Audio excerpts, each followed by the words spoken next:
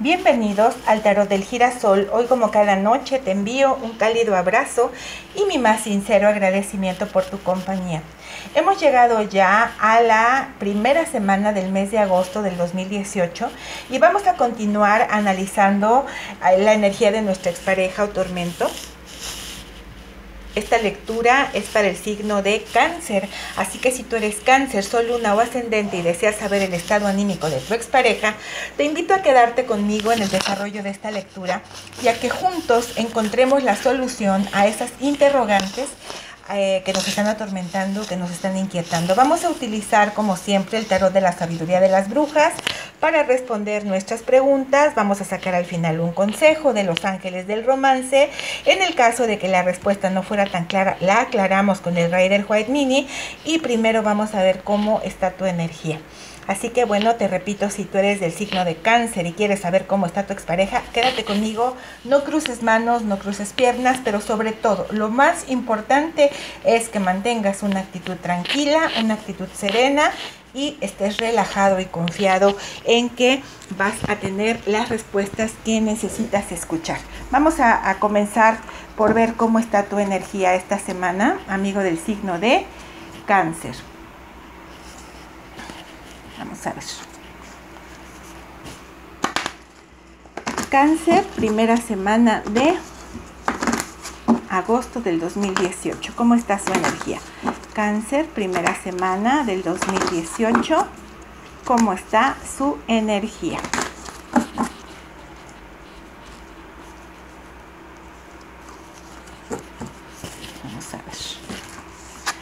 La carta que te salió es la suma sacerdotisa. Tienes la carta de la suma sacerdotisa. Esta carta es bien positiva es bien positiva porque me habla de que estás con, un, con una gran inteligencia y con una gran eh, intuición. Tu intuición está muy desarrollada, está muy acertada en este momento. Cuando tú tengas una duda o tengas una interrogante, pregúntate a ti mismo que en tu corazón vas a encontrar la respuesta que estás necesitando. La, la, perdón, la suma sacerdotisa está representándote a ti como consultante y como consultante te dice que tú tienes el poder de transformar esta situación siempre y cuando pongas tu mente por encima de tu corazón. Esta carta no te invita a dejar de sentir, pero sí te invita a sentir con mesura y a pensar y a cuidar cada una de tus palabras y cada una de tus acciones. La carta de la sacerdotisa también está hablando de que muy probablemente en este momento te sientas confundido o confundida porque la persona por la que estamos preguntando tal vez no ha sido clara ni en sus intenciones, ni en sus palabras, ni en sus acciones con respecto a nosotros y eso nos ha provocado confusión, nos ha provocado angustia, nos ha provocado inseguridad.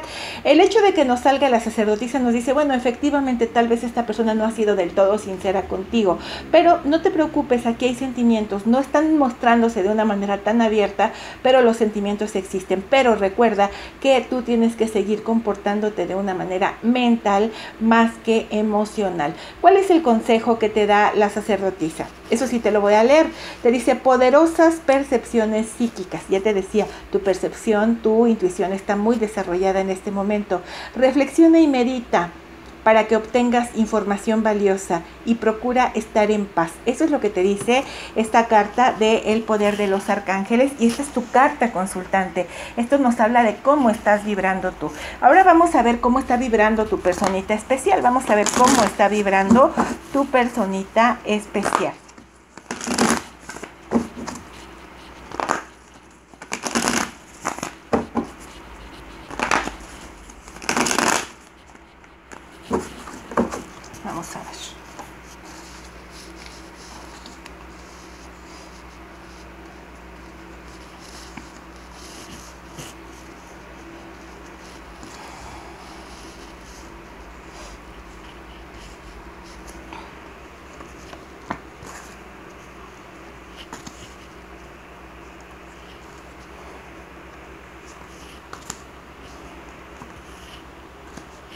Qué bonito.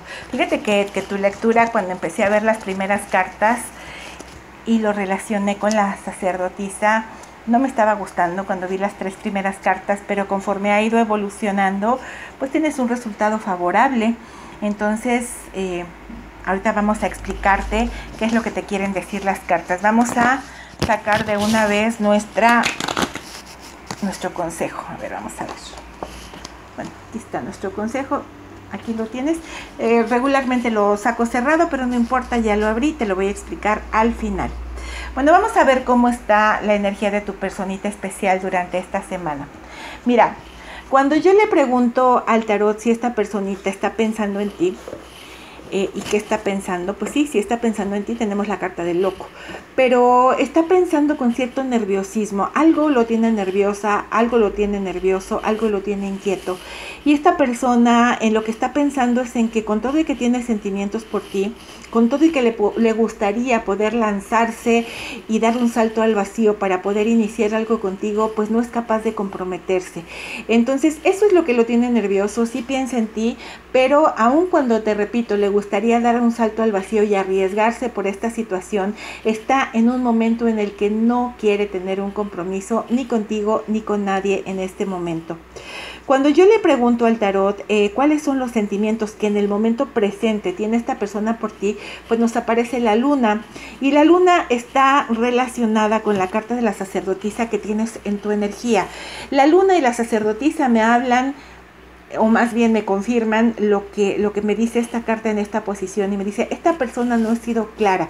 Tú puedes tener la idea de que esta persona tal vez te está ocultando algo porque efectivamente es una persona que vive la vida tal como se le va presentando, que podría tener alguna situación oculta y me refiero a relaciones ocultas con alguien más, nada serio, nada estable y eso hace que no tenga una claridad absoluta en sus sentimientos con respecto a ti. No obstante, sí los tiene. Tanto la sacerdotisa como la me hablan de que por ti sí tiene sentimientos, pero no es consciente de esos sentimientos, porque esos sentimientos yo diría que están incluso ocultos para, para él o para ella. Los tiene, pero no sabe que los tiene porque te repito, está en un momento en el que no se quiere comprometer. Ahora, cuando yo pregunto cuáles son las acciones que está realizando esta persona en este momento, tenemos un 7 de copas.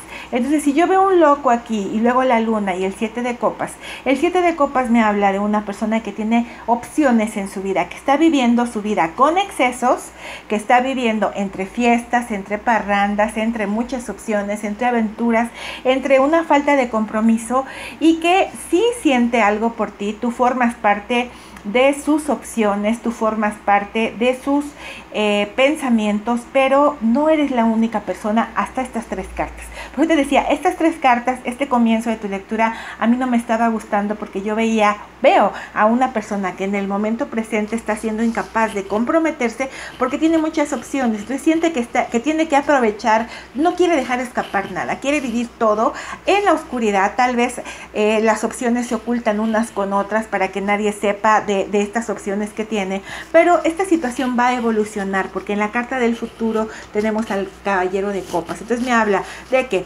de estar inestable, de, haber una confusión, porque tiene siete copas aquí, finalmente se va a quedar con una, con una sola copa. ¿Y quién es el consultante? ¿Quién representa esa copa? Pues eres tú, porque tú eres el consultante. Entonces, efectivamente, en el momento actual, esta persona tiene muchas opciones siente que la vida le sonríe, siente que no quiere dejar pasar nada, pero conforme el tiempo pase, él va a, él o ella se va a dar cuenta de que la opción real, los sentimientos reales son hacia ti y te va a declarar sus sentimientos em, abiertamente. Ya no los va a ocultar, ya te los va a expresar con toda claridad. Pero esta carta pues nos sale en la posición del futuro, que es de 1 a 6 meses y depende de cómo esté tu vibración. Pero yo veo que tu vibración está buena. Tienes cartas que aunque en el presente están no muy positivas, pero en el futuro sí tenemos posibilidades de una reconciliación. Entonces, esta persona tarde que temprano se aclara, elige una de las copas, esa copa eres tú, te la ofrece a ti, te ofrece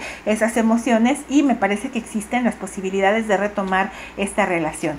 Cuando yo le pregunto al por qué razón le gustaría retomar la relación contigo, pues tenemos un 5 de espadas. Y el 5 de espadas me habla de que tal vez en el momento en el que se separó de ti, esta persona se dio cuenta de que no ganó nada, o sea, perdió sea, no, cuando se separó tal vez sintió que era un éxito, pero se dio cuenta con el paso del tiempo de que no, que no era así. No ganó nada, al contrario, se sintió mal.